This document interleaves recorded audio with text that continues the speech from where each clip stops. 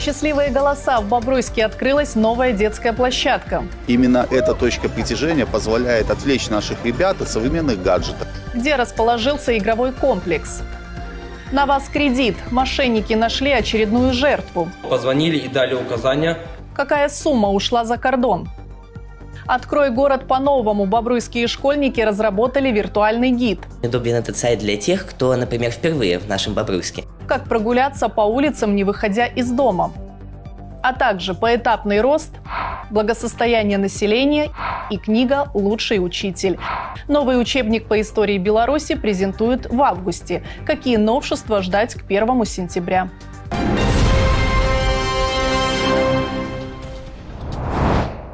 Итоги уходящего вторника подводят наши корреспонденты и я, Юлия Евтушенко. Вопросы национальной безопасности. Александр Лукашенко провел плановые заседания Совбеза. Общение с силовым блоком началось с демонстрации образцов новой военной формы. Изменить обмундирование, поручение президента в связи с мировыми тенденциями и трансформацией задач. Ключевым вопросом заседания стал новый проект нормативного акта с акцентом на оценку состояния нацбезопасности. В своем докладе глава государства озвучил пожелания и требования к членам Совбеза по поводу нововведений. Мы должны иметь четкое представление о том, что реально происходит внутри страны и вокруг нее. Военная безопасность, экономика, социальная, политическая сфера и другие. Без прикрас, максимально выверено и объективно. В этой связи хотел бы услышать мнение членов Совета Безопасности, какая работа проведена по совершенствованию действующей системы оценки состояния национальной безопасности. Президент отметил, предлагаемые изменения должны согласовываться с новой концепцией национальной безопасности, принятой на седьмом ВНС. Требования просты и понятны. Никакого формализма и упрощенчества быть не должно. Повелась на уловки. 44-летняя бобручанка стала жертвой мошенников. Потерпевшая обратилась в милицию и сообщила. Неизвестный, который представился сотрудником органов финансовых расследований, сообщил, на ее имя пытаются оформить заем. Для помощи в поимке злоумышленников лжеправоохранитель предложил Бобручанке самой взять кредит и перевести деньги на якобы безопасный счет. На следующий день ей снова позвонили и дали указания обратиться в еще один банк, а после полученные средства снова перечислить через инфокиоск для безопасности. В результате заявительница лишилась более 34 тысяч рублей. По факту мошенничества возбуждено уголовное дело. Хвойный запрет, молодежный марафон и рост цен. В Беларуси снова поднялась стоимость топлива на одну копейку. Сколько стоит заправить авто? Громкие заголовки дня дали в специальном обзоре.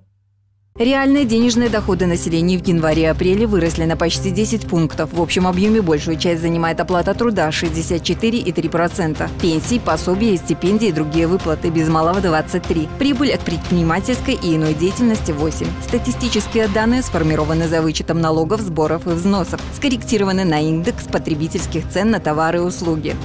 В Беларуси на одну копейку снова поднялась стоимость топлива. Подорожание поэтапное было анонсировано ранее. Среди причин – рост затрат на производство нефтепродуктов, увеличение акцизов. Цены на заправках будут выглядеть таким образом. Дизельные и 95 обойдутся в 2 рубля 41 копейку, 92 – 2 31, 98 – 2 63.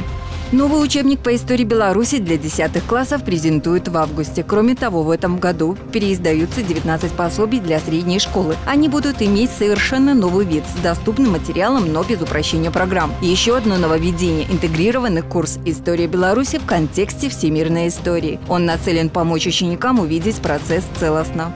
Ограничения на посещение лесов введены в 51 районе Беларуси. Запрет связан с установлением третьего класса пожарной опасности и действует во всех областях. В связи с этим исключены въезд транспорта, проведение турслетов и коллективных трипов с палатками. Не возбраняется сбор ягод и грибов, однако без разведения костров на привале. Отслеживать информацию можно по интерактивной карте, размещенной на официальном сайте Минлесхоза.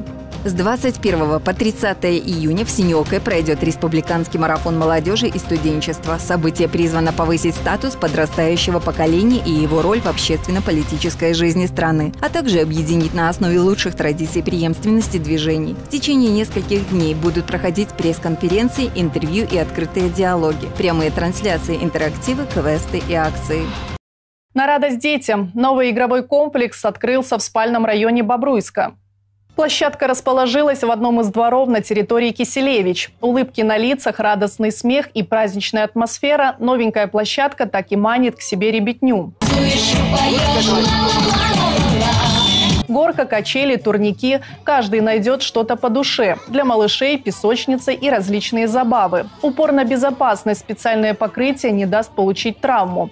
В восторге не только дети, взрослые счастливы не меньше. Я не раз отмечал актуальность э, открытия данных детских площадок, потому что именно эта точка притяжения позволяет отвлечь наших ребят от современных гаджетов. Здесь они могут э, пообщаться со сверстниками, э, скатиться с горочки и провести великолепно время. На Первомайский район планы амбициозные. Впереди открытие еще четырех детских площадок. К слову, по итогам смотра санитарного состояния и благоустройства населенных пунктов Беларуси за прошлый год город для жизни – лидер.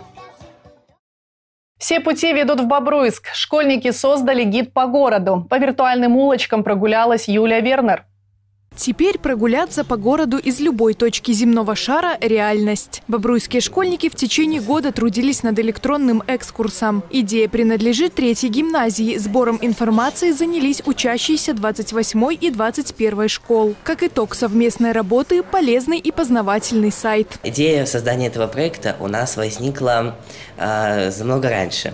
У нас было несколько виртуальных экскурсий по нашему городу, и возникла необходимость их всех скомпоновать в один общий сайт сайт на одну какую-то платформу. Так и появилась идея создания нашего проекта. С помощью гида можно заглянуть в каждый уголок города на Березине, узнать интересные факты, пройтись по знаковым местам, увидеть историко-культурные ценности, окунуться в промышленный туризм и открыть свой гастрономический Бобруйск. Грандиозный проект э, в каком плане? Что э, все начиналось с разработки макета сайта, выбора платформы, подбора материалов, разработки этих экскурсий. То есть в этом проекте э, участвовало очень много людей. В ближайшее время в городе пройдет международный фестиваль народного творчества «Венок дружбы». В Бобруйске высадится творческий десант со всего мира. С помощью портала гости смогут интересно провести время. Удобен этот сайт для тех, кто, например, впервые в нашем Бобруйске, потому что там есть интерактивная карта, на которой размещены самые важные наши культурные объекты. Лично я скажу, я много узнал чего нового благодаря этому проекту.